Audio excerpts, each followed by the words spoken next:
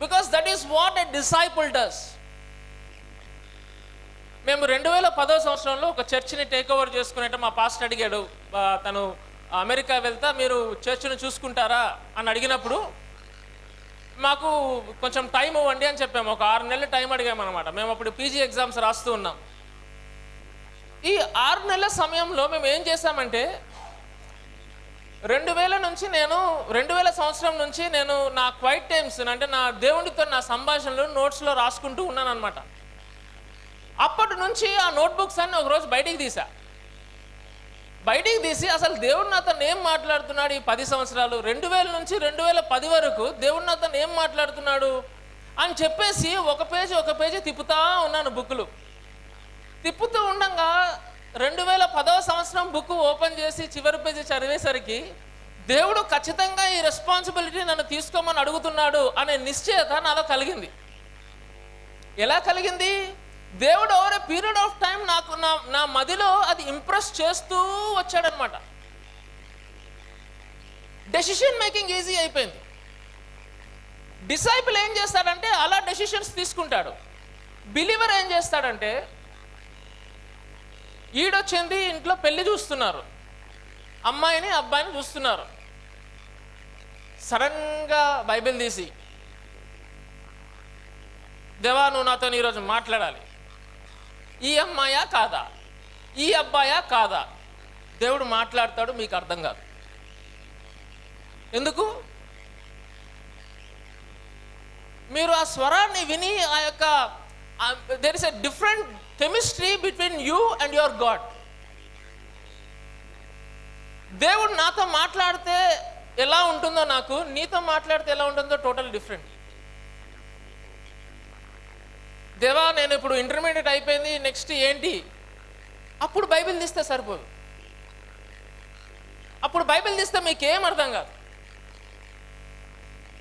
మా మన అనుదిన జీవిత ప్రోగ్రెస్లో మనం డెసిషన్ మేకింగ్స్ ఈజీ కావాలంటే మనం దేవుడు చెప్తున్నవి రోజు రాసుకోవాలి. This is one of the prime characters మీరు ఎంతమంది అండి స్కూలింగ్ అంతా ఒక నోట్బుక్ లేకుండా పాస్ అయ్యారు? చేతులు ఎత్తండి ఓన్లీ టెక్స్ట్ బుక్సే చదివి పాస్ అయిన వాళ్ళు ఎవరండి ఇక్కడ? ఎవరైనా ఉన్నారా? మరి మీరు దేవునితో ఎలా మీరు శిష్యరికంలోకి వస్తారండి? ఒక నోట్బుక్ ఒక పెన్ను లేకుండా ఎలా మనం శిష్యులం అవుతాం చెప్పండి? దేవుడు చెప్తున్నది రికార్డ్ చేయటం చాలా ఇంపార్టెంట్ సో మనము ఈ డిసైపుల్షిప్ గురించి నేర్చుకుంటూ ఉన్నాం. మనకి తెలియకుండానే ఈ మూడు సెషన్స్లో మనము అండర్లయింగ్ డినామినేటర్ uh, ఏంటి అంటే దేవునితోని శిష్యరికంలోకి వెళ్ళటం.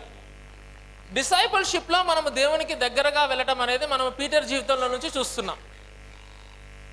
రైట్ ఈరోజు మనము uh,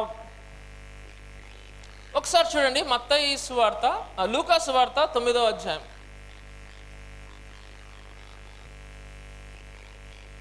లూకా సువార్త తొమ్మిదో అధ్యాయం ఇరవై మూడో వచనం చూడండి. మరియు ఆయన అందరితో ఇట్లా నేను ఎవరైనాను నన్ను వెంబడింపగోరినేలా తను తాను ఉపేక్షించుకొని ప్రతిదినము తన సిలువ ఎత్తుకొని నన్ను వెంబడింపవలను. తన ప్రాణమును రక్షించుకున్న గోరువాడు దానిని పోగొట్టుకొనును. నా నిమిత్తమై తన ప్రాణమును పోగొట్టుకోనివాడు దానిని రక్షించుకొనును. చాలా సింపుల్గా డిసైపుల్షిప్ని డిఫైన్ చేసేసాడు జీసస్ క్రైస్ట్ ఇక్కడ.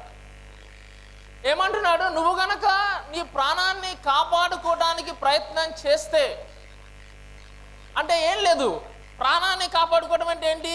ఎవడో బలం తీసుకొని మన దగ్గరికి రాడు కత్తి తీసుకొని రాడు మనం పారిపోం. అది కాదు. ఇదేంటి అంటే సెల్ఫ్ ప్రిజర్వేషన్ అన్నమాట. తన ప్రాణాన్ని తను కాపాడుకునేవాడు అంటే ఏంటి? సెల్ఫ్ ప్రిజర్వేషన్ అంటే ఏదన్నా విపత్తు వస్తే నేను నా పిల్లలు నా భర్త. సెల్ఫ్ ప్రిజర్వేషన్ అనమాట మిగతా వాళ్ళు ఏమైనా నాకు సంబంధం లేదు. నేను నా పిల్లలు నా భర్త నా కుటుంబం. వెంటనే ఒక గోడ కట్టేసుకుంటాం లోపల ఉంటాం. తుఫాన్ పోయిందాకా. తుఫాన్ పోగానే మళ్ళీ బయటకు వస్తాం. బయటకు వచ్చి అయ్యో మీకు అలా అయిందా అండి? అయ్యో మీకు అలా అయిందా అండి? అయ్యో పాపం అని అంటాం. ఇది సెల్ఫ్ ప్రిజర్వేషన్ జీసస్ క్రైస్ట్ ఏమంటున్నాడంటే నన్ను వెంబడించేవాడు ఎలా ఉంటాడంట? తన ప్రాణాన్ని కాపాడుకోడంట. అంటే ఏంటి? తన ప్రాణాన్ని ప్రిజర్వ్ చేసుకోడు. మన ప్రాణాన్ని కాపాడే వాళ్ళము మనము కాము. మన ప్రాణాల్ని కాపాడేవాడు దేవుడు.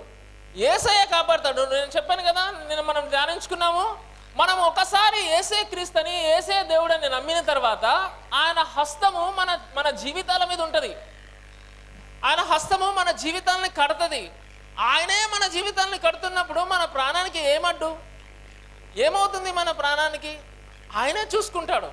మీరు కనుక వేరే గాస్పల్స్లో చదివితే నా నిమిత్తము ఎవడైతే తన భూములని అక్కల్ని చెల్లెల్ని తమ్ముల్ని అమ్మని నాన్నని వైఫ్ని చిల్డ్రన్ని వద్దనుకోరో వాళ్ళైతే వద్దనుకుంటారో దానికి రెండు రెట్లుగా అధికంగా నేను మీకు ప్రొవైడ్ చేస్తానని అంటాడు అనమాట ఒక దగ్గర. I don't know in which gospel it is ఒకసారి చెప్పండి థ్యాంక్ యూ అండి. ఒకసారి హెల్ప్ చేయండి నాకు ఇది.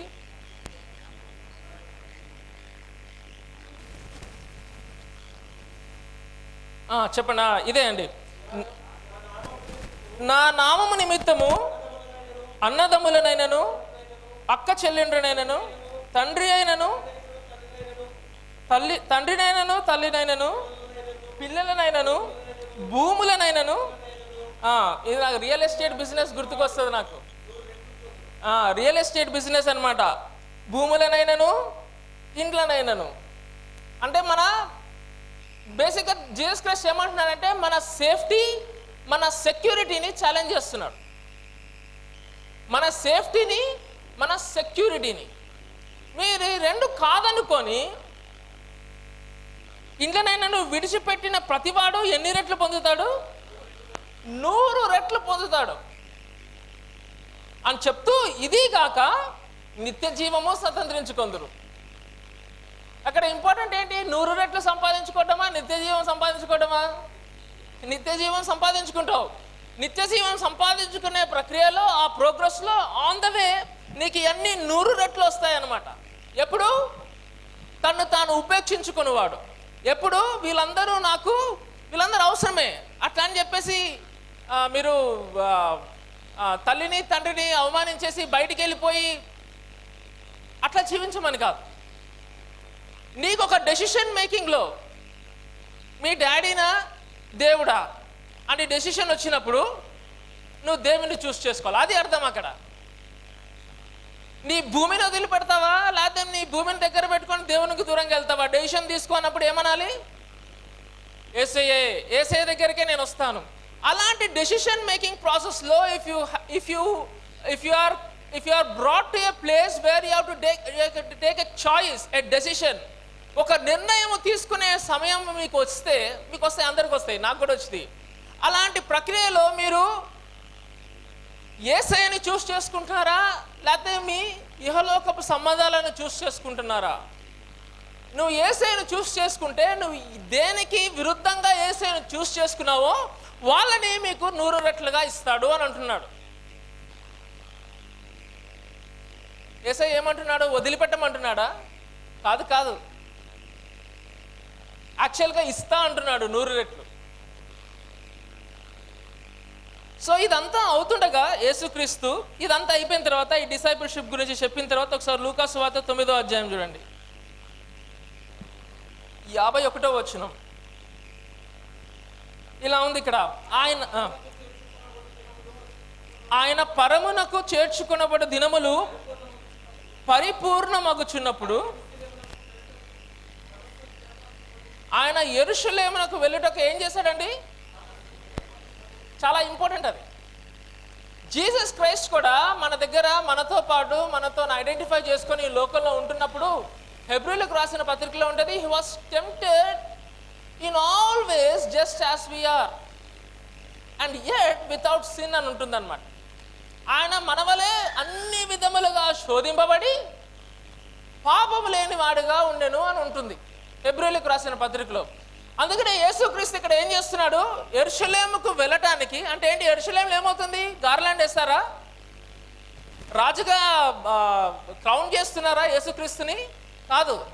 ఎరుషలేంకి వెళ్తున్నప్పుడు శ్రమలు ఉన్నాయి ఎరుషలేంకి వెళ్తున్నప్పుడు ఈయనను బంధిస్తారు. ఎరుషలేంకి వెళ్ళినప్పుడు ఈయనను సిలువ వేస్తారు. ఈయన చనిపోవాలి. ఇవన్నీ ముందే తెలుసు యేసుక్రీస్తుకి. అందుకే నేను ఏం చేస్తున్నాడు ఆయన ఆ సమయం నుండి ఎరుషలేము వెలుటకు మనస్సును స్థిరపరచుకున్నాడు. ఇంగ్లీష్లో ఏముంటుందంటే హీ రిజాల్వ్డ్ హిస్ మైండ్ లేకపోతే he has determined to go to Jerusalem అని ఉంటుంది. అంటే ఇంకా రిజాల్వింగ్ అంటే మీరు నాలుగు సార్లు ఎంసెట్ రాలేదనుకోండి. అంటే మేము రాసేటప్పుడు మెడిసిన్ ఎంసెట్ అనమాట ఓకే నేను ఒక సేయింగ్ ఉంటుంది కదా ఎయిటీన్ ఫిఫ్టీ సెవెన్ నుంచి ప్రయత్నం చేస్తే నైన్టీన్ ఫిఫ్టీ నైన్టీన్ ఫార్టీ సెవెన్లో మనకి స్వాతంత్రం వచ్చినట్టు. నేను నైన్టీన్ నైన్టీ సెవెన్ నుంచి ప్రయత్నం చేస్తే రెండు వేలలో ఎంసెట్ సీట్ వచ్చింది. సో ఈ నాలుగో అటెంప్ట్లో వచ్చింది ఎంసెట్ సీటు ఓకే అంత బ్రిలియంట్ స్టూడెంట్ కాదు నేను. సో మూడో అటెంప్ట్ అయిపోయిన తర్వాత మా నాన్నగారు నా దగ్గరకు వచ్చి ఏరా ఏంటి పరిస్థితి? మరి నేను నువ్వు చదువుతావా? డాక్టర్ అవుతావా? లేకపోతే ఇంకేదైనా అని అన్నప్పుడు నేను మా నాన్నగారితో సంభాషణ అయిన తర్వాత I have resolved my mind to study అంటే ఏంటి? నేను నా మనస్సుని స్థిరపరచుకున్నాను. అంటే ఏంటి? ఓ అటు ఇటు చెస్ క్రికెట్ అది కాకుండా ఐ హ్యావ్ మనస్సుని స్థిరపరచుకోవడం అంటే ఏంటంటే ఫోకస్ చేసుకోవటం. నేను ఫోకస్ చేసుకోవడం జరిగింది. దేవుని దేవుల దేవుడు నాకు సీట్ ఇచ్చేసాడు సో యేసుక్రీస్తు కూడా ఇక్కడ ఏం చేస్తున్నాడు? తన మనసుని స్థిరపరుచుకుంటున్నాడు. అంటే ఏంటంటే నేను ఇంక ఇప్పటి నుంచి ఎరుషులేంకి వెళ్తున్నాను. నాకు ఎటువంటి డీవియేషన్ కానీ డిస్ట్రాక్షన్ కానీ లేదు. ఒకవేళ వచ్చినా I have I am determine to go to Jerusalem die I am preparing my mind I have prepared my mind if I have to say అర్థమవుతుంది కదండి? ఆయన మనసుని ఏం చేసుకున్నాడండి? స్థిరపరుచుకున్నాడు. ఇప్పుడు పేతురు దగ్గరకు వద్దాం. మనం అసలు ఇప్పుడు దాకా పేతురు గురించి మాట్లాడుకోలేదు ఇప్పుడు పేతురు దగ్గరకు వద్దాం. ఒకసారి లూకాసు వార్త ఇరవై రెండవ అధ్యాయం చూడండి. ముప్పై ఒకటో వచ్చినాం ఎందుకంటే రెండుసార్లు పిలిచాడు యేసుక్రీస్తు. ఎందుకు యేసుక్రీస్తు రెండుసార్లు పిలిచాడండి? సీమోను అంటే సరిపోద్ది కదా? అంటే ఇక ఖచ్చితం అనమాట బల్లకుద్ది చెప్పటం. Okay? Verily verily I say and you అని ఉంటుంది ఇంగ్లీష్ బైబిల్లో. అని అన్నానంటే దేవుడు బల్లగుద్ది మనకు ఒక విషయం చెప్తున్నాడు. ఇంకా అది ఖచ్చితమైన విషయం అని అర్థం అనమాట సో ఇక్కడ కూడా ఏమవుతుంది? సీమోను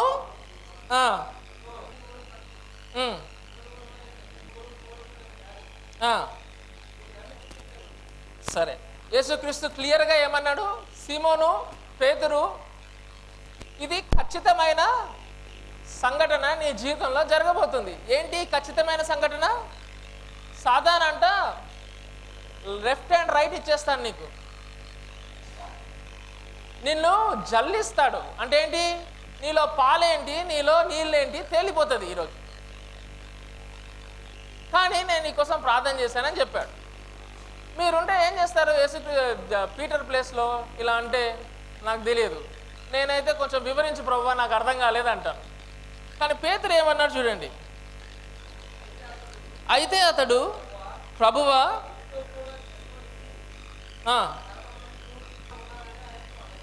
ఏమంటున్నాడు? పేతురు ఏమంటున్నాడు? ఆయన ఎలా ఉన్నాడు? రెడీగా ఉన్నాడు. ఎక్కడికి వెళ్ళడానికి? చెరలోనికి వెళ్తాడు పొరపాటు అక్కడి నుంచి ఉరేస్తే మరణానికైనా నేను సిద్ధముగా ఉన్నాను. జీసస్ క్రైస్ట్ అక్కడ ఏమంటున్నాడు? ఆహా కాదమ్మా అక్కడ. మరి లూకస్ వార్త తొమ్మిదో అధ్యాయం చదివాం కదా ఇందాక? యాభై ఒకటి వచ్చినాం జీసస్ క్రైస్ట్ ఏం చేస్తున్నాడు? తన ఎరుషులేము వెళ్ళుటకు మనసును స్థిరపరుచుకుంటున్నాడు. యేసుక్రీస్తేమో మనసును స్థిరపరుచుకుంటున్నాడు. ఇక్కడ పీటర్ ఏమంటున్నాడు? నేను రెడీగా ఉన్నాను కమాన్ అనేదో అంటున్నాడు. నీ ప్రతాపమో నా ప్రతాపమో తేలిపోవాలి. రాణి అని అంటున్నాడు అనమాట పీటర్. ఓకేనా? ఈ రెండు సంఘటనలు అయిపోయిన తర్వాత మనము గెచ్చమైన తోటకు వస్తాం. గెచ్చమైన తోటలో ఏమైందో ఒకసారి చూద్దాం. థర్టీ నైన్త్ వర్స్ నుంచి నేను చదువుతానండి. అదే లూకాసు వార్త ఇరవై రెండవ అధ్యాయము ముప్పై తొమ్మిదో వచ్చినాం తరువాత ఆయన బయలుదేరి తన వాడుక చెప్పున ఒలివల కొండకు వెళ్ళగా శిష్యులను ఆయన వెంట వెళ్ళిరి. ఆ చోటు చేరి ఆయన వారితో మీరు శోధనలో ప్రవేశించుకున్నట్లు ప్రార్థన చేయడం చెప్పాను. సో పీటర్కి కూడా ఉన్నాడు. పీటర్కి ఏం చెప్తున్నాడు? యేసుక్రీస్తు ఇక్కడ నీకు శోధన వస్తుంది తమ్ముడు. నువ్వు దయచేసి ప్రార్థన చెయ్యి అని చెప్పేసి వారి యొద్ద నుండి రాతివేత దూరము వెళ్ళి మోకాళ్ళని తండ్రి ఈ గిన్నె నా యొద్ద నుండి తొలగించుటకు నీ చిత్తమైతే తొలగించము అయినను నీ నా ఇష్టము కాదు నీ చిత్తమే సిద్ధించునుగా కానీ ప్రార్థించను. అప్పుడు పరలోకము నుండి ఒక దూత ఆయన కనబడి ఆయనను బలపరచును. ఆయన వేదన పడి మరింత ఆతురముగా ప్రార్థన చేయగా ఆయన చెమట నేలపరుచున గొప్ప రక్తపు బిందువుల వలె ఆయన ప్రార్థన చాలించి లేచి తన శిష్యుల వద్దకు వచ్చి వారి దు వారు దుఃఖము చేత నిద్రించుట చూచి. ఇక్కడ రెండు టూ కాంట్రాస్టింగ్ థింగ్స్ చూస్తాము. యేసుక్రీస్తుకి కూడా దుఃఖం ఉంది. ఉందా? యేసుక్రీస్తుకి కూడా దుఃఖము ఉంది. శిష్యులు కూడా దుఃఖపడుతున్నారు. ఈయనేంటి వెరైటీగా బిహేవ్ చేస్తున్నారు ఈరోజు రాత్రి అని చెప్పేసి వాళ్ళు కూడా దుఃఖపడుతున్నారు. ఈయన దుఃఖములో ప్రార్థన చేస్తున్నాడు. ఆ ప్రార్థన ఎలాంటి ప్రార్థన? భయంకరమైన ప్రార్థన. ఇక్కడేమో పేదరు దుఃఖంతో ఏం చేస్తున్నాడు? నిద్రపోతున్నారు. యూజువల్గా అబ్బాయిలు చేస్తారు ఈ పని. నాకు అమ్మాయిల గురించి తెలియదు కానీ అబ్బాయిలు అయితే యూజువల్గా పర్సనాలిటీస్ ఎలా ఉంటాయంటే దుఃఖం రాగానే పోయి పండుకుంటారు. దుఃఖంలో బాగా నిద్ర వస్తుంది అనమాట మరి మీ గురించి తెలియదు. నేను నా గురించి మాట్లాడతాను. నేను అప్సెట్ అయ్యాను అనుకోండి సైలెంట్ అయిపోతాను. సైలెంట్ అయిపోయి వెళ్ళి హ్యాపీగా పండుకుంటా. ఈ లోకం నాకు పట్టదు. ఈ లోకంతో నాకు సంబంధం లేదు అని చెప్పేసి పోయి పండుకుంటాను. శిష్యులు దుఃఖంతో నిద్రిస్తున్నారు. ఈయన ప్రతిజ్ఞ చేశాడు. పేతురు అంటున్నాడు నేను సిద్ధంగా ఉన్నానని అంటున్నాడు. సిద్ధంగా ఉంటానని చెప్పి సిద్ధపాటు టైంలో ఏం చేస్తున్నాడు? నిద్రపోతున్నాడు. యేసుక్రీస్తేమో నేను స్థిరపరచుకున్నాను అంటున్నాడు. స్థిరపరచుకున్నాను అని తెలిసి కూడా ఎటువంటి డిస్ట్రాక్షన్ వచ్చినా నేను పక్కకి వెళ్ళిపోను అని తెలిసి కూడా గెచ్చపోయిన తోటలో ఏం చేస్తున్నాడు? ఏకాంత సమయము స్పెండ్ చేస్తున్నాడు. మనకి మళ్ళీ ఇది నాలుగో సెషన్లో కూడా ఈ ఏకాంత సమయం వచ్చింది. ఏకాంత సమయము తన తండ్రితోని స్పెండ్ చేస్తున్నాడు. అప్పుడు ఏమైంది? దేవదూతలు వచ్చినని బలపరిచారని లూకా రాస్తా ఉంటాడు అనమాట దాని తర్వాత ఏమవుతుందంటే యేసుక్రీస్తుని వచ్చి పట్టుకుంటారు. ఒకసారి చూడండి యోహాను సువార్త. ఎనిమిదవ వచనం చూడండి. పద్దెనిమిదవ అధ్యాయము యోహాను సువార్త ఎనిమిదవ వచనం. యేసు వారితో నేనే ఆయననని మీతో చెప్పి తిని గనుక మీరు నన్ను వెదుకుచున్న వీరిని పోనీయుడని చెప్పాను ఇక్కడ ఏమైందంటే ఆ గచ్చమైన తోటలో ఈ సోల్జర్స్ వీళ్ళంతా వచ్చి యేసుక్రీస్తుని పట్టుకున్నప్పుడు it is very imperative that they they are going to catch the disciples also లీడర్ని పట్టుకున్నారు. లీడర్ని పట్టుకొని అరెస్ట్ చేసిన తర్వాత నెక్స్ట్ ఎవరిని అరెస్ట్ చేస్తారు? శిష్యుల్ని కూడా యాక్చువల్గా అరెస్ట్ చేయాలి. కాకపోతే ఇక్కడ పే ఇక్కడ జీసస్ క్రైస్ట్ అర్జీ పెట్టుకుంటున్నాడు ఏంటి అర్జీ? మీకు కావాల్సింది నేను. నన్ను పట్టుకున్నారు కదా. ఇలా నిడిచిపెట్టేసేయండి అని చెప్పేసి అక్కడున్న సోల్జర్స్కి చెప్పాడు అనమాట అప్పుడు ఏమైందో చూడండి.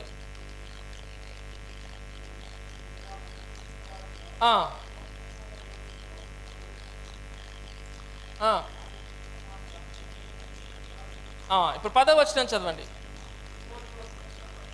ఆ, సీమోను పేతురు వద్ద కత్తి ఉండేను గనక అతడు దానిని దూసి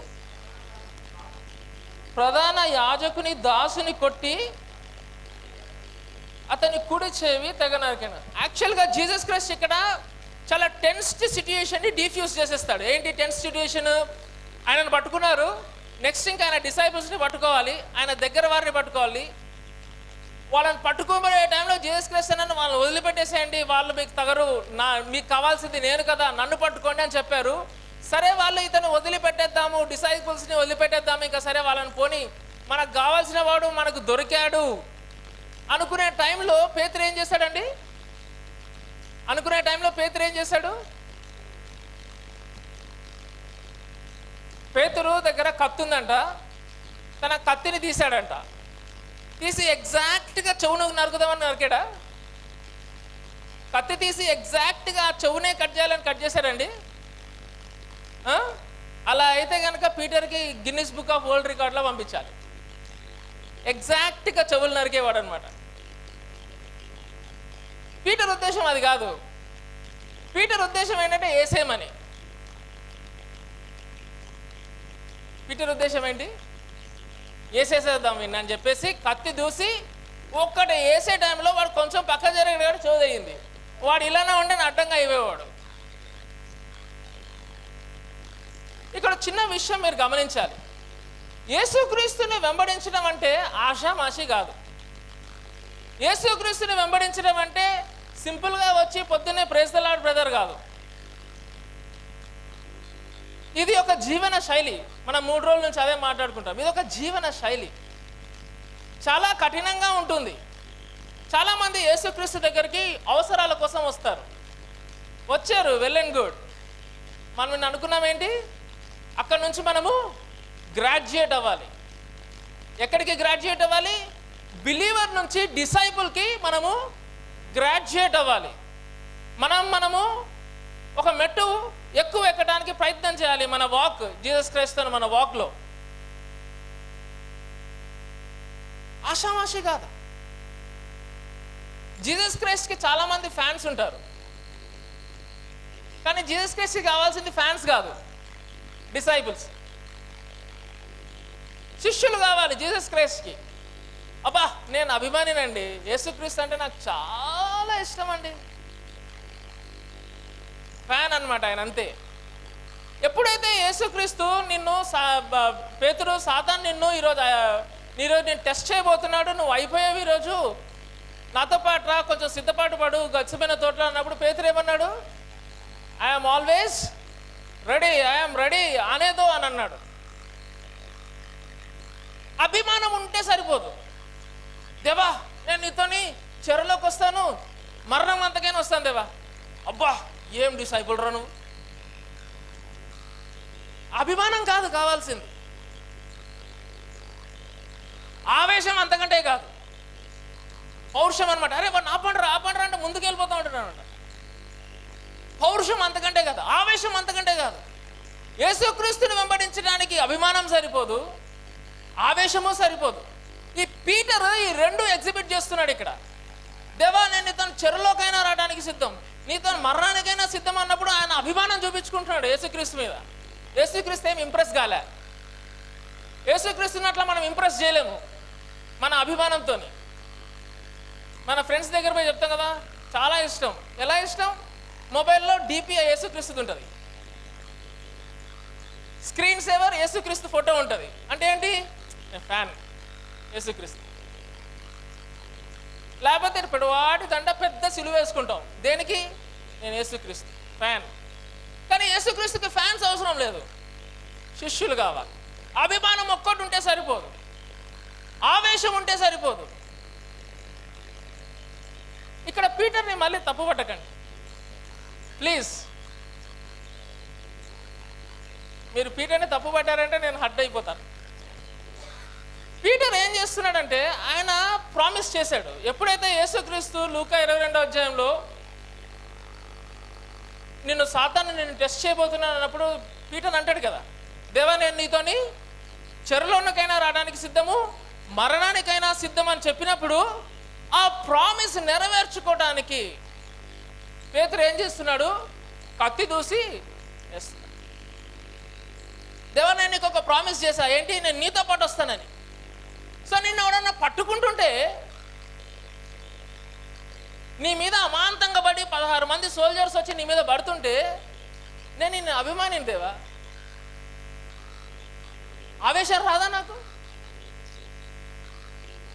కరెక్ట్గా ఆవేశం వచ్చే టైంలో లోపల కత్తి ఉంది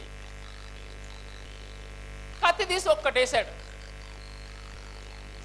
అప్పుడు జీసస్ క్రైస్ట్ చాలా బ్యూటిఫుల్ మాటలు అంటాడు అనమాట ఏమంటాడు తెలుసా? పేదరు ఫస్ట్ కత్తి లోపల పెట్టు అని అంటే ఇదంతా చేయకముందు ఏం చేస్తారంటే ఫస్ట్ ఆ మాల్కస్ అనే ఆయన ఇయర్ని తీసి మళ్ళీ అతికిస్తాడు. ఫెవిక్విక్ జీసస్ క్రైస్ట్ మిరకల్స్ అని అంతే ఉంటాయి. తీసి అతికిచ్చాడు. అలా అతికిచ్చకుండా ఉంటే ఆ రోజు గనక యేసుక్రీస్తు మలుపు యొక్క చెవుకి స్వస్థత చేకూర్చకుండా ఉండి ఉంటే జీసస్ క్రైస్ట్తో పాటు పీటర్ కూడా వెళ్ళేవాడు అట్లా డిఫ్యూజ్ చేసేసాడు. ఆ టెన్స్డ్ అట్మాస్ఫియర్ ఆల్రెడీ టెన్స్డ్గా ఉంది. జీసస్ క్రైస్ట్ని పట్టుకున్నారు. పట్టుకోగానే జీసస్ క్రైస్ట్ వాళ్ళని ఇడిచిపెట్టండి వాళ్ళ మీద చేయకండి. మీకు కావాల్సింది నేను. నన్ను పట్టుకొని నన్ను తీసుకెళ్ళండి. ఆయన మినిస్ట్రీనే అది. మనకి ప్రతిగా ఆయన చనిపోవటము. మనకి బదులుగా ఆయన ఆయన మినిస్ట్రీనే అది కాబట్టి వాళ్ళని వదిలిపెట్టండి. నన్ను పట్టుకోండి అని ఆ సిచ్యుయేషన్ డిఫ్యూజ్ చేశారు. వాళ్ళు ఒప్పుకున్నారు. ఇంతలో పేదలు తీసి కత్తి పెట్టి మళ్ళీ చేసి మళ్ళీ సిచ్యుయేషన్ అంతా టెన్స్డ్గా చేసేసాడు. టెన్స్డ్గా చేసి మళ్ళీ పట్టుకునే టైంలో మళ్ళీ మాల్కస్ని హీలింగ్ చేసి దాన్ని మళ్ళీ డిఫ్యూజ్ చేసి పడేసి. డిఫ్యూజ్ చేసి ఒక గాస్పల్ ఏముంటుందంటే జీసస్ క్రైస్ట్ ఏమంటాడంటే నేను నా తండ్రిని వేడుకుంటే పరలోకము నుంచి సైన్యం వచ్చి నన్ను కాపాడదా? కానీ నేను వేడుకొనను. ఎందుకంటే నేను ఇలా వెళ్ళటము దేవుని చిత్తం. మళ్ళీ పేతురికి క్లాస్. నువ్వు ఇహలోక సంవాదాల గురించి ఆలోచిస్తున్నావు కానీ పరలోక విషయాలు నీకు పట్టట్లేదు పేతురు నీకు అభిమానం ఉంది కానీ ఆవేశం ఉంది కానీ అంకిత భావం ఏది పేతురు కమిట్మెంట్ ఏది? ఇప్పుడు మార్కు సువార్త చూడండి.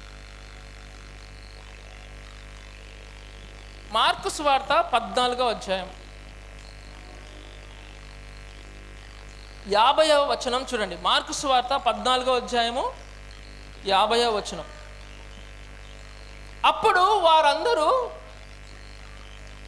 అది మీరు అండర్లైన్ చేసుకోవాలి ఇది. అప్పుడు వారందరూ ఏం చేశారండి? ఆయనను విడిచి ఆ, ఆ సిట్యుయేషన్ అయిపోయిన తర్వాత అంటే ఇక పీటర్కి అర్థమైపోయింది. ఈయన డిసైడ్ అయిపోయాడు రా బాబు అక్కడికి వెళ్ళడానికి అని చెప్పేసి అర్థమైపోయింది.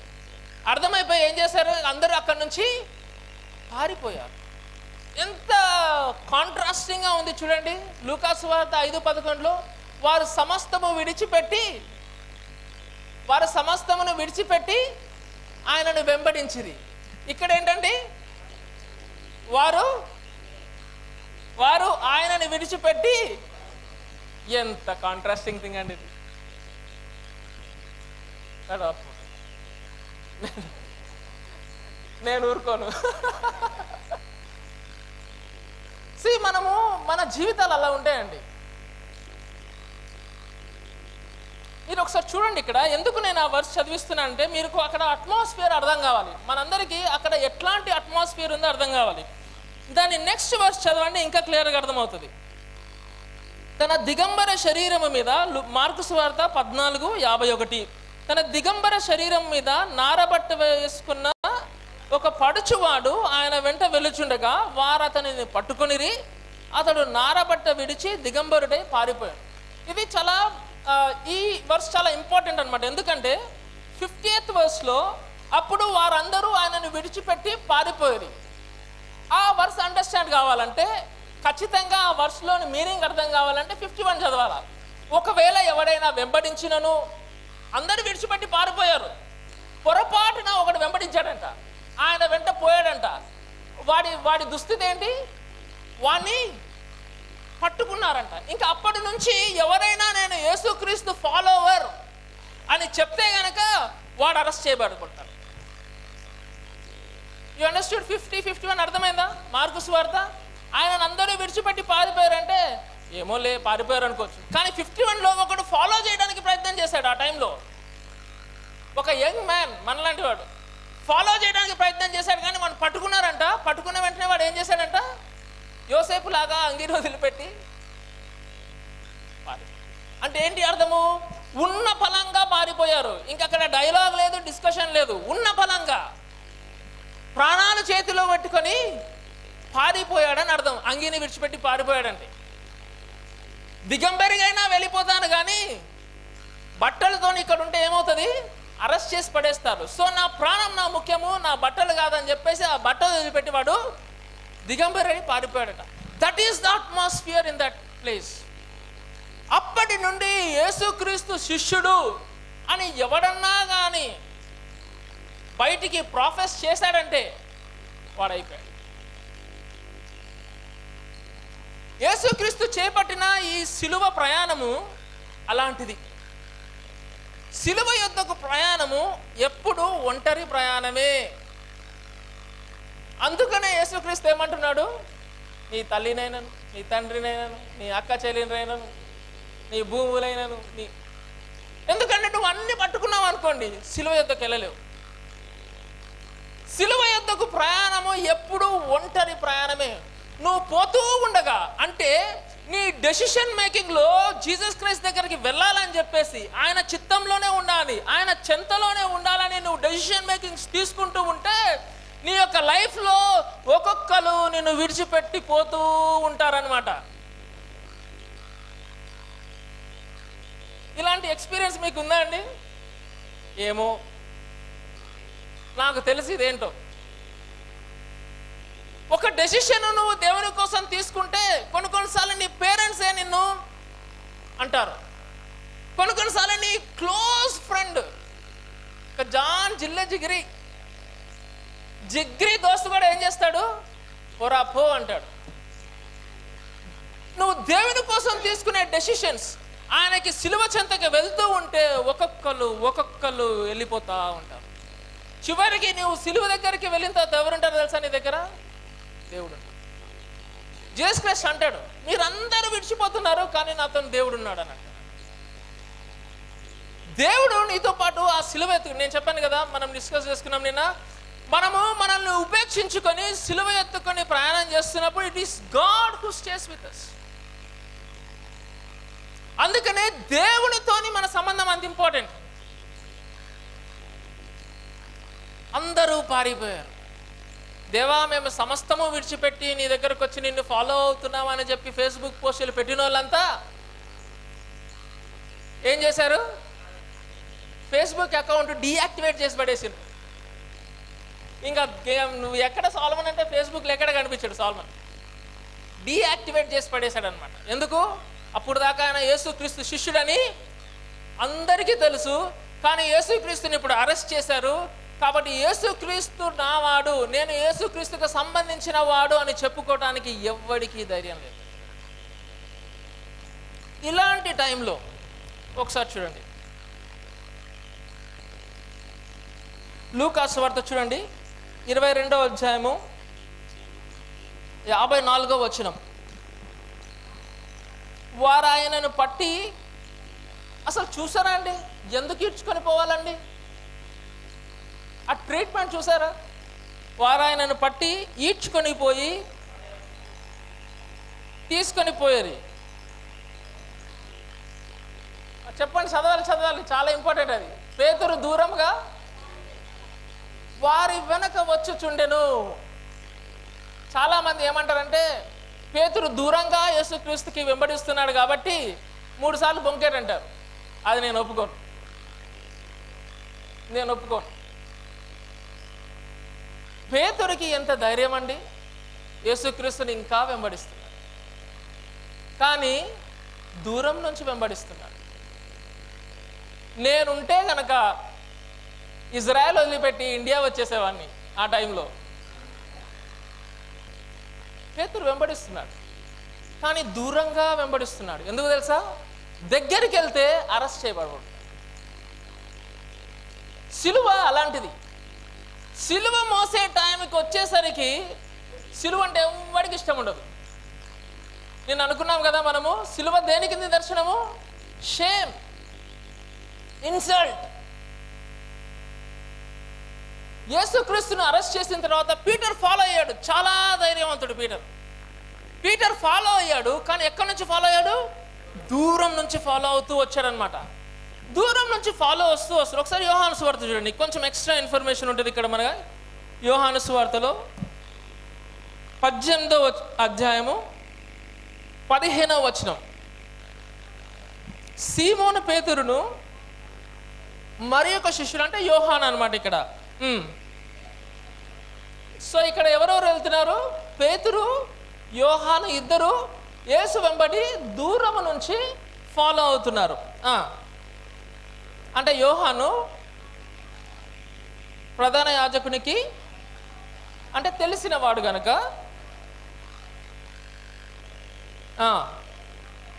యేసుతో కూడా వెళ్ళాను. అయితే పేతురు ఎక్కడున్నాడు?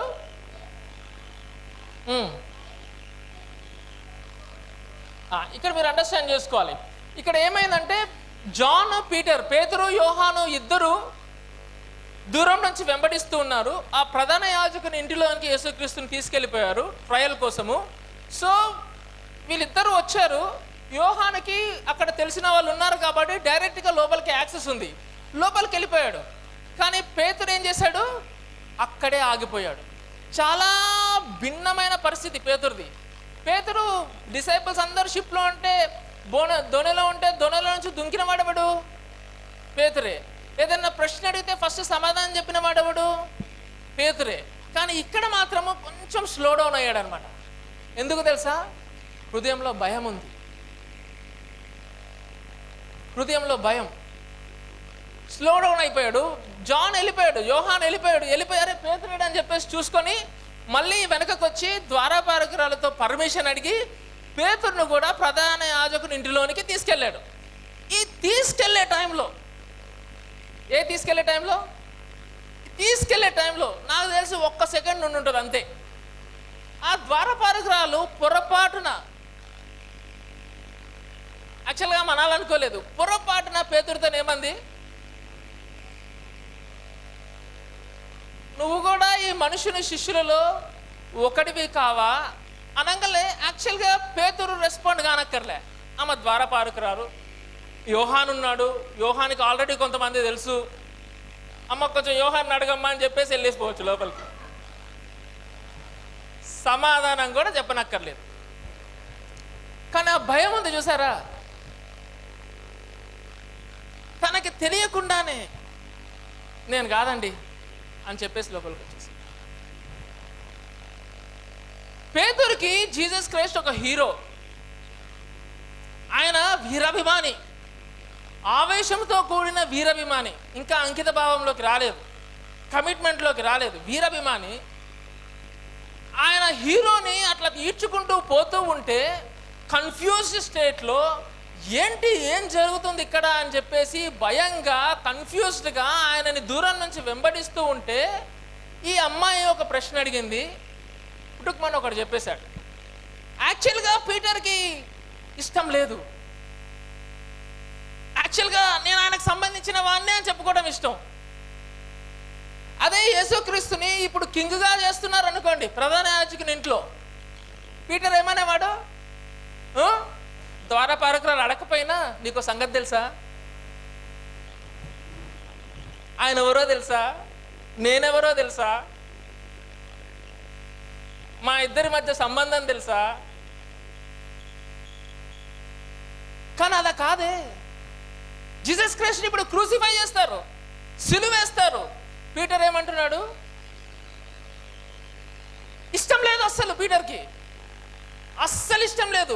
కానీ పరిస్థితులు ఎలా ఉన్నాయంటే తన చుట్టూ ఈయనకి నేను సంబంధించిన వాడిని కాను అని చెప్పేటట్టున్నాయి. క్యాంట్ బట్ సిచ్యుయేషన్స్ అన్నమాట. చెప్పడం ఇష్టం లేదు కానీ pressure is so much that he has to deny Jesus Pethuru కూడా మనలాంటి వాడే కదండి? ఏమండి?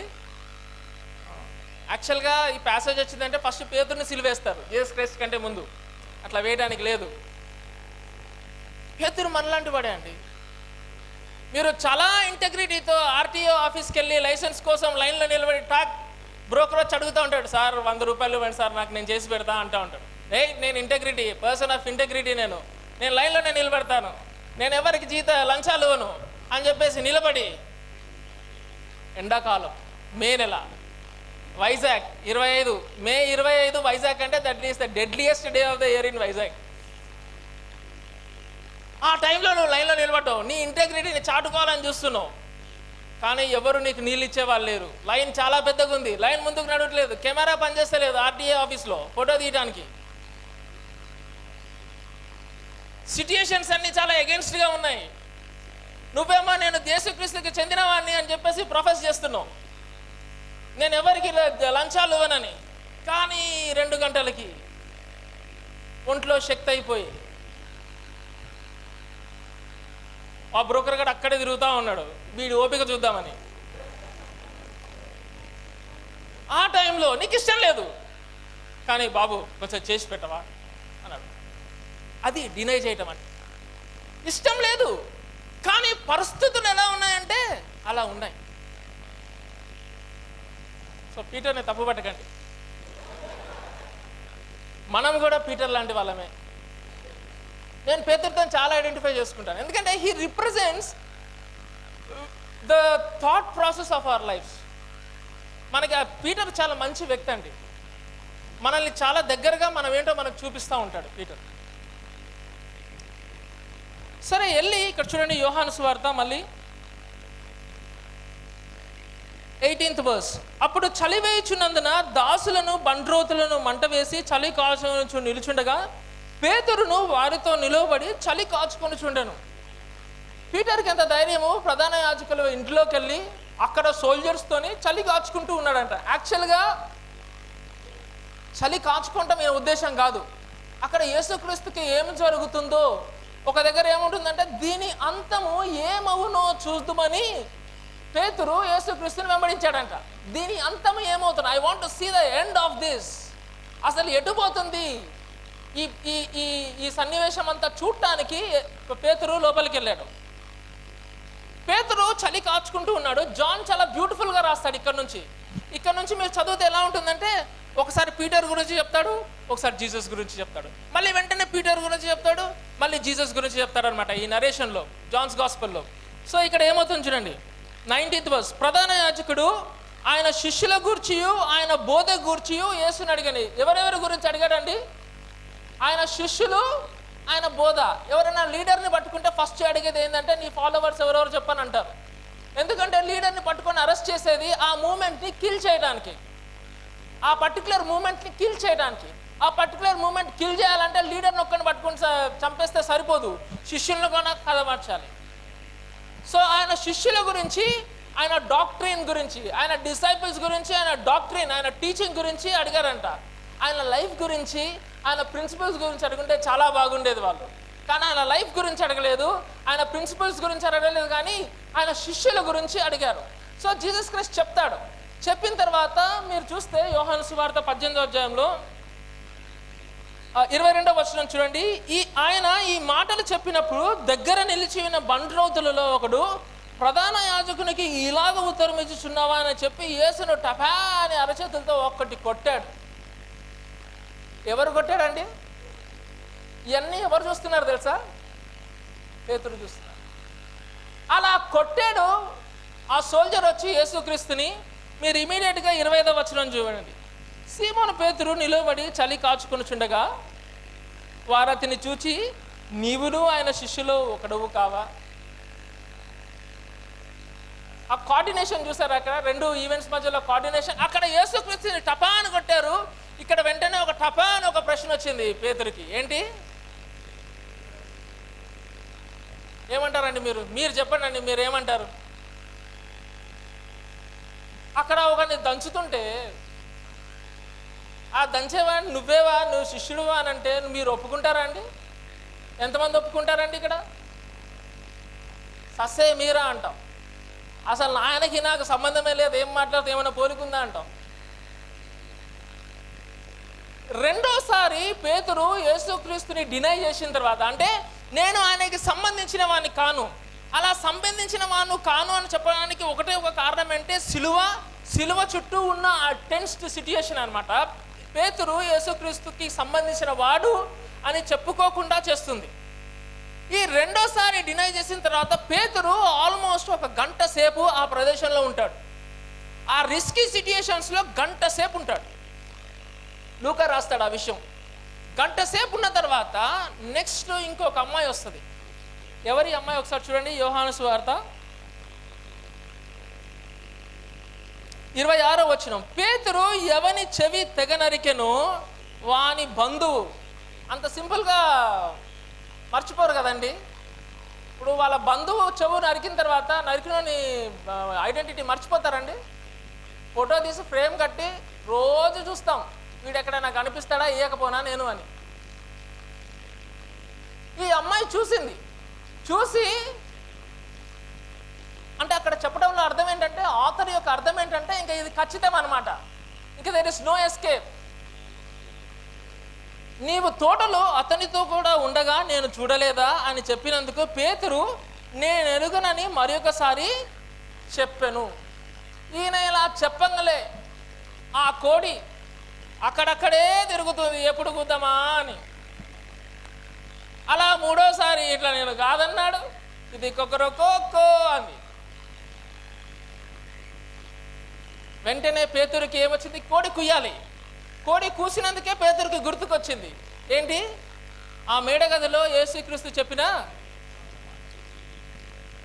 అప్పుడు పేతురు ఏమని చేస్తారండి ఏమైనా ఉందా ఇక్కడ? ఇక్కడ లేదు. లూకాసు వార్తలో ఉంటుంది చూడండి. లూకాసు వార్త. అరవయో వచ్చినము ఇరవై రెండో అధ్యాయం అరవై వచ్చినము అందుకు పేతురు ఓయి నీవు చెప్పినది నాకు తెలియదనను అతడు ఇంకనూ మాట్లాడుచుండగా వెంటనే కోడి కూర్చొని ఇంకో దగ్గర ఐ థింక్ ఇది మార్కు సువార్తలు ఉంటుంది. ఆయన పక్కకి వెళ్ళిపోయి సంతాపపడతాడు. గిల్టీ ఫీలింగ్తోని పక్కకి వెళ్ళిపోయి ఏం చేస్తాడంటే ఏడ్ చేస్తాడనమాట ఏంటి నేను చేసింది? ఏంటి నేను చేసింది? అసలు నాకు ఇష్టం లేదే. యేసుక్రీస్తు నన్ను యేసుక్రీస్తు నాకు తెలియదు అని చెప్పడం ఇష్టం లేదే. అని చెప్పేశానే. ఏంటి నేను చేసిన పరిస్థితి అని చెప్పేసి ఏడుస్తూ ఉంటాడు సిలువ అలాంటిది. సిలువ మోయడం అంటే అంత కష్టం. ఆషామాషే కాదు. యేసుక్రీస్తుని వెంబడించడం అందుకనే ఆవేశం సరిపోదు అభిమానం సరిపోదు. అంకిత భావము చాలా కమిటెడ్ డిసైపుల్స్గా ఉండాలి మనం. కమిట్మెంట్ ఉండాలి. దేవా కరెక్టే చెరలోనికైనా మరణానికైనా. కానీ దానికి సిద్ధపడాలి కదా. ప్రార్థన లేకుండా ఎలా సిద్ధపడతాము? నేను యేసుక్రీస్తుకు సంబంధించిన వాడిని అని చెప్పేసి ఊరంతా చెప్పిన తర్వాత లోపలికి వచ్చి నువ్వు ప్రార్థన చేసుకోకపోతే ఎలా? ప్రార్థనలోనే కదా సిద్ధపాటు. లాస్ట్ టైం మీరు ఎప్పుడు ప్రార్థన చేశారండి? Long long ago long long ago when I was in nineteen కొంతమంది సాక్ష్యాలు చెప్తారు.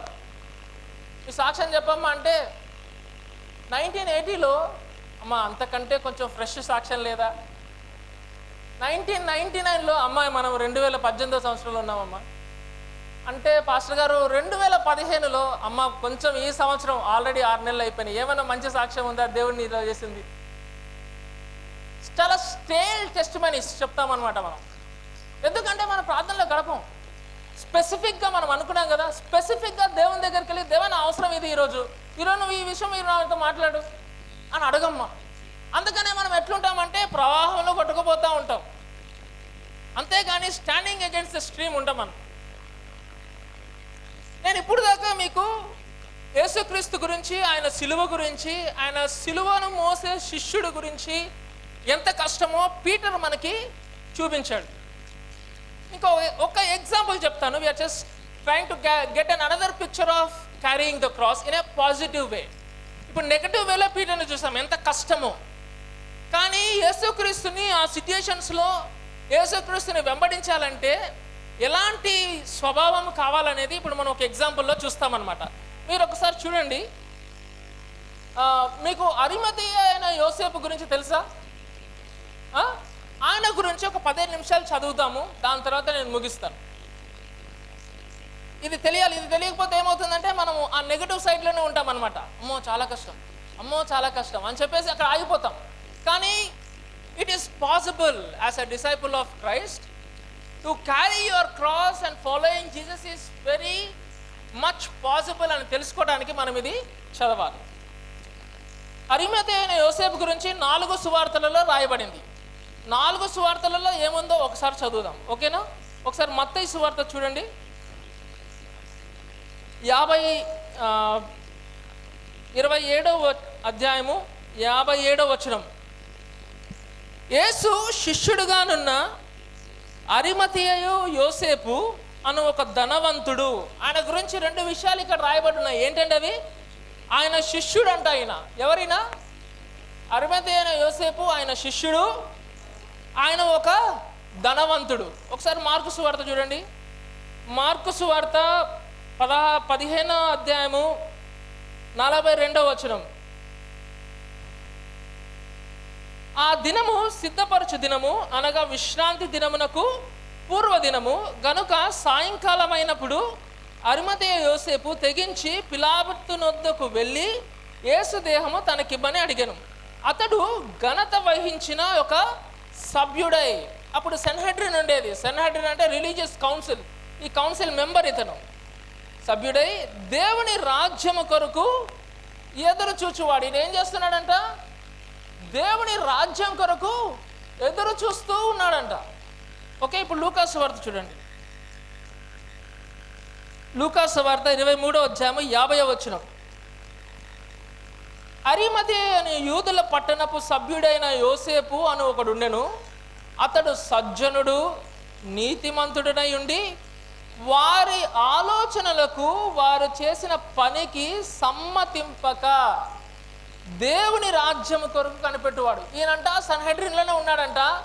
సన్హెడ్రిన్ మెంబర్ అంట. కానీ వాళ్ళు డెస్పరేట్ ఏ డెసిషన్స్లో కూడా సమ్మతింపడంట.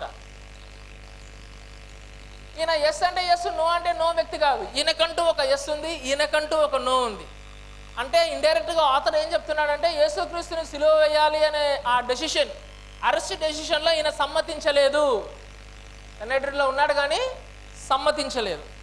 ఒకసారి యోహాను సువార్త చూడండి. యోహాను సువార్తలో ఒక మంచి ఇన్ఫర్మేషన్ ఉంటుంది ఈయన గురించి. పంతొమ్మిదో అధ్యాయము ముప్పై ఎనిమిదో వచనం.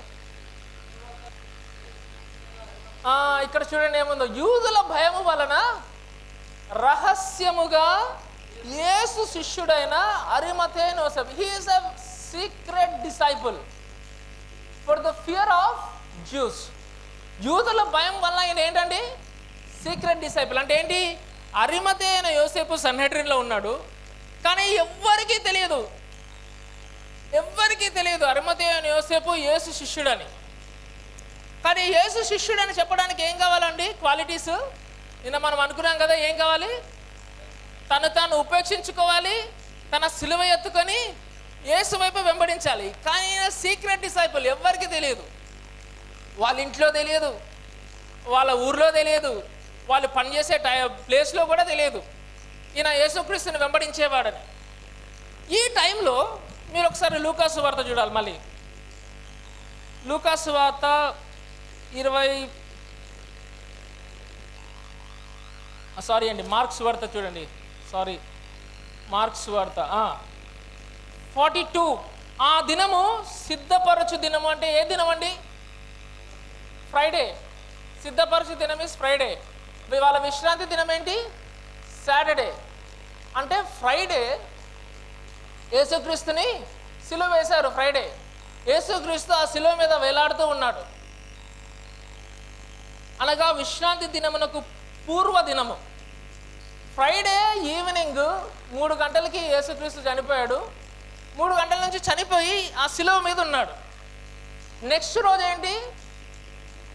విశ్రాంతి దినము విశ్రాంతి దినం పని చేస్తారా అండి యూదులు?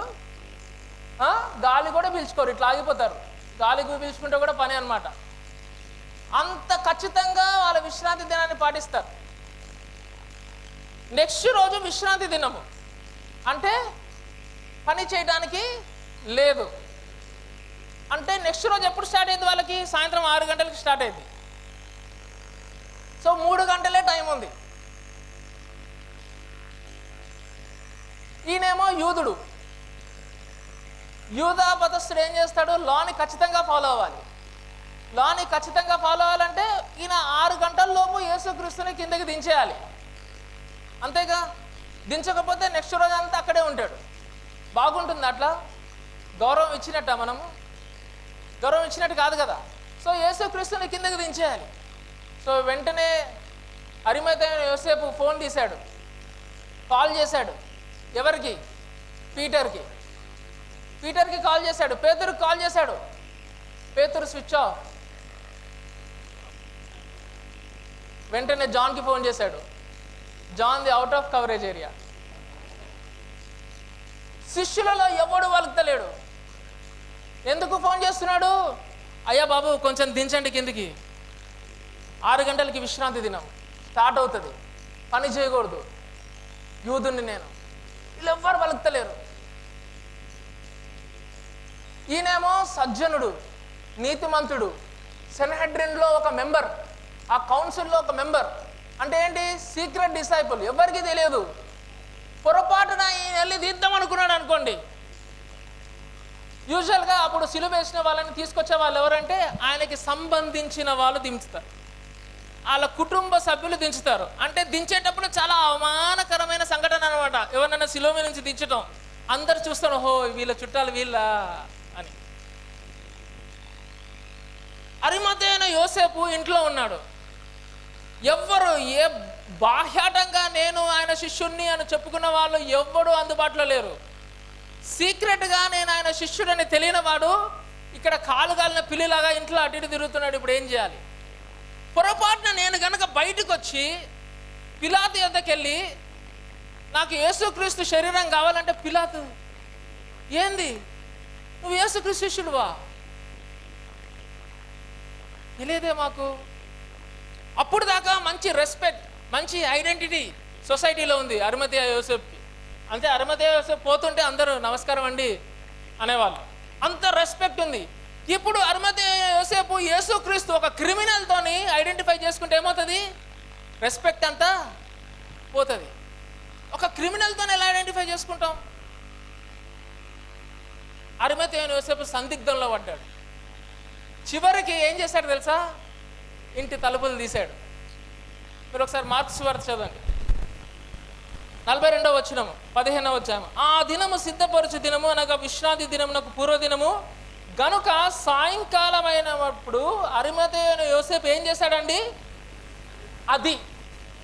ఏం చేశాడండి? తెగించి అయితే అయింది.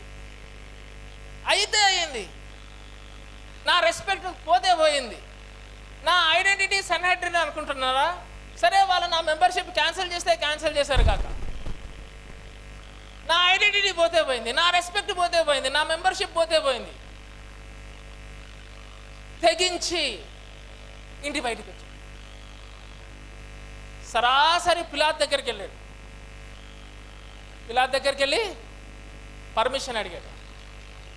పిలాత్ పర్మిషన్ ఇచ్చాడు. ఆయన అక్కడి నుంచి గొల్గోత కొండ మీదకి ఎక్కుతుండగా జనాలందరూ చూస్తున్నారు. అప్పుడు అరుమతైన యోసేపు రింగ్ టోన్ ఏంటి తెలుసా? ఫోన్ ఉంది కదా అరుమత యోసేపు. రింగ్ టోన్ ఏంటి తెలుసా? The cross before me the world behind me no turning back no turning back ఆ రింగ్ టోన్ వస్తూ ఉండగా అరిమతైన యోసేపు గొలగొతా కొండ మీదకి ఎక్కి సిలువ మీద నుంచి ఆయనను దింపి తెగించాలి. నా రెస్పెక్ట్ పోతే పోయింది. నా ఐడెంటిటీ పోతే పోయింది. కానీ యేసుక్రీస్తు శిష్యుడుగా చెప్పుకోవాలంటే అభిమానము కాదు ఆవేశం కాదు. తెగించే అంకిత భావం కావాలి. అది లటుకుమని కరెక్ట్గా హెవెన్లో నుంచి నెత్తి మీద పడదు. It is a life style ప్రతిరోజు దేవుని దగ్గర తన్ను తాను ఉపేక్షించుకుంటూ సిలువ ఎత్తుకొని ప్రయాణం చేసేవాడే. అంకిత భావము కలిగిన నిజమైన యేసుక్రీస్తు శిష్యుడు. అలా ఎలా ఉండాలి? అంత టెన్స్డ్ అట్మాస్ఫియర్లో ఎలా తెగించి బతకాలి అనేది యోసేపు చూపించాడు మనకి. నువ్వు తెగిస్తావా ఈరోజు? దేవా నాకు ఆ స్వభావం కలగజే తెగించే స్వభావం. దేవా నేను నీ శిష్యుని కావాలి ఈరోజు. నాకు చాలా కోరిక ఉంది. కానీ నాకు ఆ జీవితాన్ని ప్రసాదించు. ఇవన్నీ నేను చెప్తున్నాయన్నీ మనము మనము మనము డిస్కస్ చేసుకుంటున్నాయని ఒక సడన్గా రావండి మన జీవితాల్లోకి. It is a practice it is a discipline over a period of time we get we attain that lifestyle నువ్వు తెగిస్తావా ఈరోజు? దేవా నాకు ఆ తెగింపు స్వభావం దయచేసి నా రెస్పెక్ట్ పోతే పోయింది. నా కులపోలందరూ నాకెళ్ళి ఉరిమురిమి చూస్తారు సార్ నేను యేసుక్రీస్తుని అంగీకరిస్తే. ఆహా. చూడని. మా అమ్మ నాన్నలు ఒప్పుకోరండి ఇంటి నుంచి వెలివేస్తారండి యేసుక్రీస్తుని ఒప్పుకుంటే. ఆహా. యేసుక్రీస్తు ఏం చెప్పాడు తెలుసా? ఒకవేళ నువ్వు నీ తల్లిని తల్లిని కనుక విడిచిపెట్టొస్తే వాళ్ళకి నూరంతలుగా నీకు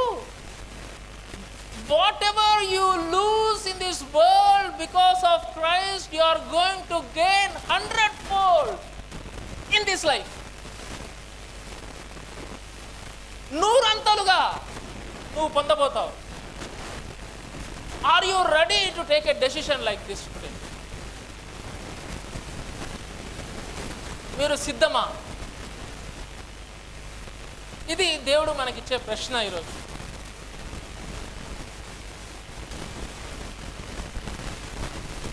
ఉద్యోగం ఫిల్ చేసేటప్పుడు మనకి ఒక ప్రొఫార్మా ఇస్తారు. అక్కడ రిలీజియన్ అని ఉంటుంది. దాన్ని టిక్కు పెట్టాలి. చాలా సందిగ్ధం.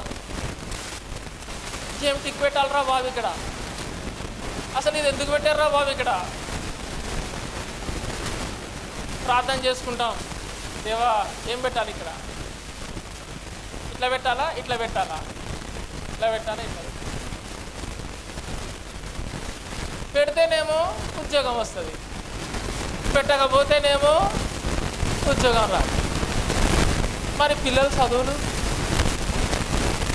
పిల్లల కోసం సార్ సాక్రిఫైస్ మరి దేవుడు?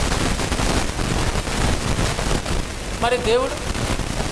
నీ పిల్లల నువ్వు విడిచిపెట్టి నా వెంబడి రాకపోతే నీ చదువులనైనా నువ్వు విడిచిపెట్టి నువ్వు రాకపోతే అంటే విడిచిపెట్టి రమ్మని కాదు నీ డెసిషన్ నీ చాయిస్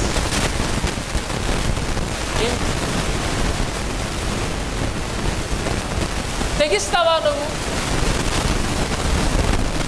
దానికి తెగింపు అవసరం. ఆ తెగింపు ఎట్లొస్తుంది తెలుసా? దేవునికి దగ్గరగా ఉండాలనే కోరికలో ఉంటుంది తెగింపు. ఆ కోరికలో ఉంటే తెగింపు ఉపయోగం లేదు తెగింపు. రోజు మనం ప్రార్థన చేయాలి దేవా నేను నీ దగ్గరగా ఉండే ఆ డిజైర్ ఉంది కదా దుప్పి నీటి వాగుల కొరకు ఆశ ఆ ఆశను నాకు దయచేదేవా దట్ ఈస్ ద కీ ఆ ఆశ నాకు దయచేదేవా ఎందుకంటే నా జీవితంలో నేను తెగించి డెసిషన్ తీసుకునే కొన్ని పరిస్థితులు ఏర్పడతాయి. ఈ ఆశ కనుక నాలో లేకపోతే నీకు దగ్గరగా ఉండాలి నిన్ను మహిమపరచాలి నిన్ను గణపరచాలనే ఒక ఆశ కనుక నాలో లేకపోతే దేవా నేను ఇట్లాంటి డెసిషన్స్ తీసుకోలేను. చాలా కాంప్రమైజ్డ్ లైఫ్లో ఉంటాను దేవా నేను. కానీ పైకి మాత్రం నేను నీ శిష్యులను చెప్పుకుంటున్నాను దయచేసి క్షమించినాను దయచేసి నన్ను క్షమించు.